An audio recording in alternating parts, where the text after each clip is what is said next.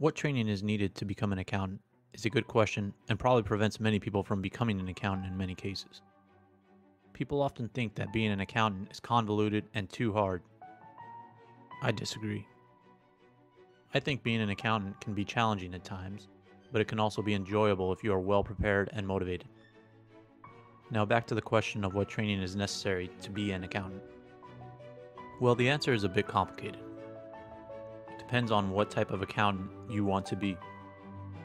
If you want to be a CPA, typically have to attend college and obtain 150 credits in order to sit for the CPA exam. If you simply want to be a staff accountant, you usually only need a college degree.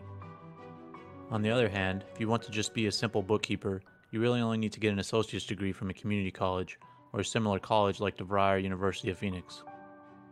I would warn against getting a degree from one of those online universities like a DeVry University of Phoenix, as they are very expensive and will most likely put you into significant college debt. Community college is good enough for a simple bookkeeping position. Accountants are in high demand these days, as no one wants to be accountants these days. So whatever type of accounting path you choose, you will have a high degree of employability.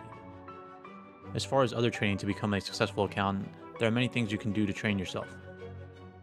You can train yourself by taking lots and lots of Excel courses. Whatever type of accountant you choose to become will largely hinge on your use of Excel. Being a master of Excel will set you apart from your peers. CPAs will need to take CPEs in order to stay current with their CPA certificate. CPE courses range in all different subjects. They can cover topics such as taxes, auditing, managing, international accounting standards, fraud examination, etc. Your company will also make you take soft skill training such as being able to manage people, dealing with clients, and other skills that pertain to your company's business.